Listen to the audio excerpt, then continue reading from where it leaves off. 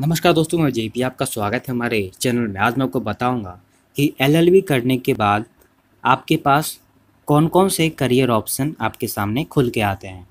तो फ्रेंड्स मैं इस वीडियो में आपको टॉप फाइव करियर ऑप्शन के बारे में बताने वाला हूँ ओके तो पहला ऑप्शन है फ्रेंड्स कि आप सरकारी वकील बन सकते हैं।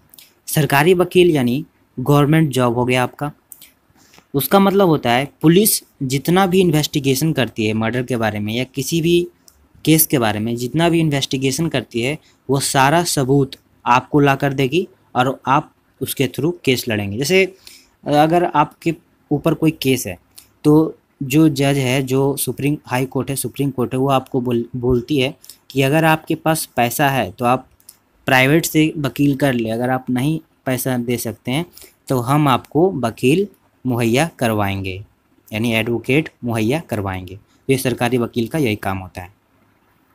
यानी आप एलएलबी करने के बाद सरकारी वकील बन सकते हैं। इसमें भी अच्छा खासा पैसा है। दूसरा ऑप्शन है प्राइवेट कंपनियों के लीगल डिपार्टमेंट में काम करना। यानी जो बड़ी बड़ी कंपनियाँ होती हैं, उनके लीगल डिपार्टमेंट भी बहुत सारे होते हैं। बहुत, जैसे कोई दवाई का कंपनी है या किसी चीज़ का कंपनी है तो उसमें केस आते रहते हैं कि आपका दवाई में ये प्रॉब्लम है आपकी दवाई से मेरा ये ये प्रॉब्लम हो गया, मेरा हाथ फ्रैक्चर हो गया, ये हो गया साइड इफ़ेक्ट हो गया। तो इस तरह के जो लीगल प्रॉब्लम है इसे सॉल्व करने के लिए बड़ी बड़ी कंपनियाँ एडवोकेट रखते हैं। इसमें भी पैसा अच्छा है। तीसरा ऑप्शन है कि आप पॉलिटिक्स में जा सकते हैं। जी हाँ फ्रेंड्स पॉलिटिक्स में नेता लोग क्या करते हैं? भाषण देते हैं, बोलते हैं तो वकील का क्या काम होता है? बोलना, अच्छी तरीके से केस को अपने जज के सामने प्रस्तुत करना। ठीक है?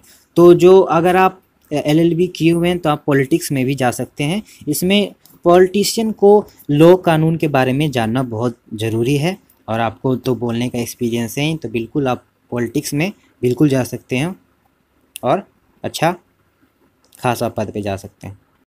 करियर ऑप्शन, अगर ये सब में आपको कुछ नहीं होता तो पाँचवा सबसे लास्ट है कि कोई भी, कि कोई भी इंडिया के कोर्ट में आप प्रैक्टिस कर सकते हैं। प्रैक्टिस कर सकते हैं, यानी जूनियर असिस्टेंट बन सकते हैं अपने बड़े एडवोकेट के। जो एडवोकेट बड़े हैं, उनके जूनियर असिस्टेंट बन के काम कर सकते हैं, उनके केस सॉल्व करने में हेल्प कर सकते हैं, मदद कर सकते हैं। और धीरे धीरे धीरे धीरे आपका एक्सपीरियंस हो जाएगा कैपेबिलिटी हो जाएगा एक्सपीरियंस हो जाएगा। फिर आप खुद का एक चैम्बर खोल दीजिए और खुद का केस हैंडल करना शुरू कर दीजिए। इसमें सैलरी कोई फिक्स नहीं होती है, इसमें पेमेंट कोई किसी को पेमेंट नहीं दिया जाता है केस के अनुसार पेमेंट मिलता है, इसमें पैसा भी बहुत पैसा है इसमें।